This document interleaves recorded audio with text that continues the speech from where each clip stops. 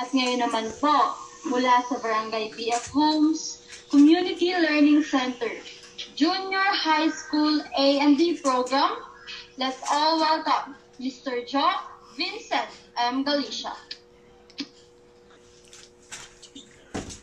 Good morning, everyone. My name is Joe Vincent Galicia, 20 years old, and currently enrolled sa junior high school program under the Alternative Learning System. I am honored to be able to share my story here today. I was born a blue baby, also known as someone with congenital heart disease. I had my first open heart surgery when I was three months old. Of course, at that time, I was not aware of what was happening. When I turned four years old, my parents were the ones who taught me how to read. And because I am eager to learn, I kept on reading and learning more. If I ever had a question in my mind, I would read about it and ask my parents to get the answer. Nowadays, people had been saying that the new normal is just staying home, having limited activities, not being able to travel, and needing to do almost everything on a computer or a cell phone. They say that this is the new normal. But for me, it was just my normal life. Growing up, I was not able to walk or roam around the house because if I did, I'll have a hard time breathing. Going to the mall was also limited and I never got to travel much because of that. I do not even go outside if I don't need to. Most of the time, I go outside because of my checkups. Likewise, I have limited activities. This has always been the normal way of living for me. When I was 11 years old, I had my second surgery I may say that there were many improvements, like being able to roam around my house more. I can stay at I can stay and go to some places outside my house for more hours than I would be able to normally. But still, I stay at home because my surgery is not the final operation yet.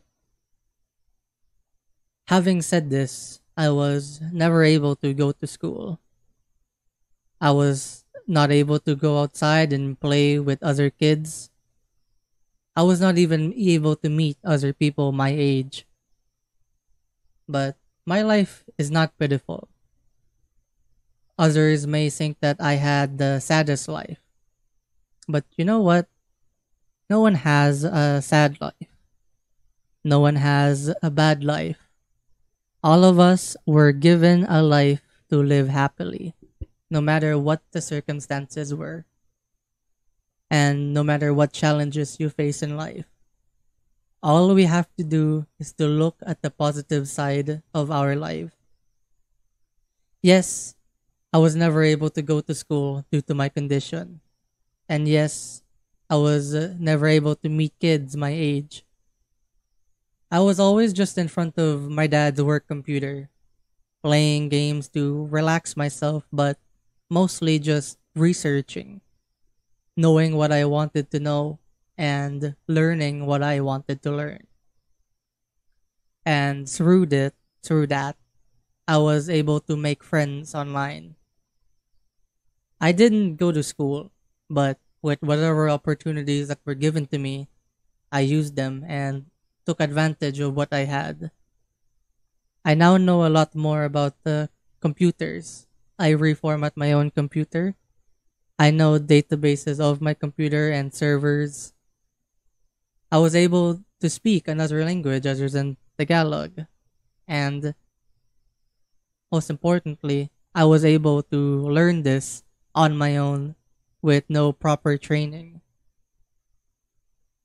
I guess what I just wanted to share with everyone is no one has a perfect life. No one has a better life or a worse life. All of us have our own blessings and our own trials. But even trials has its own blessings in disguise. All we have to do is to change how we look at it and change how it affects us. If we look through the other side of the trials we have, then we can see the blessing in it. So accept all the circumstances wholeheartedly. And if you can't find optimism in it, then don't worry because through all of those circumstances, we are molded into a stronger and better person. Many years passed living the life that was normal for me until the day arrived when my parents discovered the ALS program of DepEd. And because they wanted me to experience formal schooling and knew that I really would like to go to school and finish my studies and be able to learn more, they immediately inquired about it and had me enrolled. At first, I admit I was nervous because never in my life have I met or socialized with people aside from my relatives, and my neighbors, and my online friends. I was anxious and hesitant, but at the same time, I was excited. It was like a new door of opportunities had opened up for me. I was already 18 years old when I started the elementary program in 2019. And on my first day, I found it difficult to speak up. I always had difficulty speaking Tagalog, and I was nervous that I would never be able to keep up with my classmates or my teacher in class or communicate with them properly. But surprisingly, my classmates and my teacher made me feel comfortable. They were patient with me. And as time passed, I started to get more confident in my speaking skills and ability to socialize with their help. With there were times that it was hard for me to go up the stairs because our classroom was at the third floor of the barangay hall but fortunately for me, my father was with me and assisted me every time that I had class. There were also times where I would almost faint during class, but I still continued despite that because I was determined to learn and finish my studies. Through ALS, I was able to finally have the normal life that people are saying or experiencing. I was able to meet classmates that turned into friends, teachers that turned into guardians. I was able to experience going to school, writing on notebooks, doing assignments and projects. But most of all, I was able to continue my life with more chances of improving myself, my abilities, and knowing more of my potentials. More importantly, I was able to feel that I belong in a world much bigger, that I was able to share my knowledge and talents. Through ALS, I learned that I am someone who can also contribute to the society. It helped me feel that I can do something more, that I can be someone better. Through ALS, my dreams are bigger. And these dreams are now starting to come true. This is the beginning of a new chapter in my life where I can become someone I wanted to be and dreamt of being. And now, through ALS, I was able to share that story. But now that we are in this new normal, there are new challenges, like the availability of our resources, our classroom discussions now being done virtually, having limited time to discuss and to learn, and of course, not all of the time the internet signal is fast or reliable. I consider the current situation as a challenge for me. But like before, I need to accept these challenges, these trials, because I love to learn. and I don't want these to become a hindrance to my education. I know that what's happening now is just temporary, and I need to continue what I have started. I would like to encourage those out of school youth, those who are not able to continue their schooling due to some reasons, personal, family, or financial, that we still have the chance, the chance to continue and finish our education.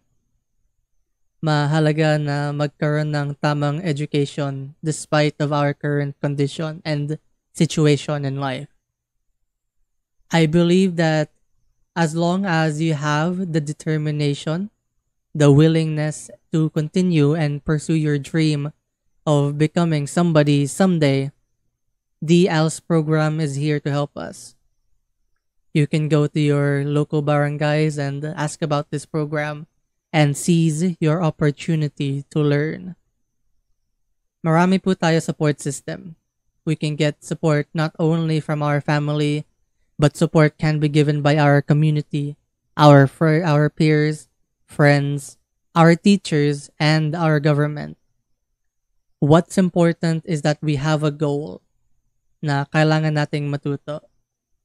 Learning should come from within, within ourselves. It's also very important that we have the determination, the determination to learn. Because at the end of the day, it is us, ourselves, that will benefit.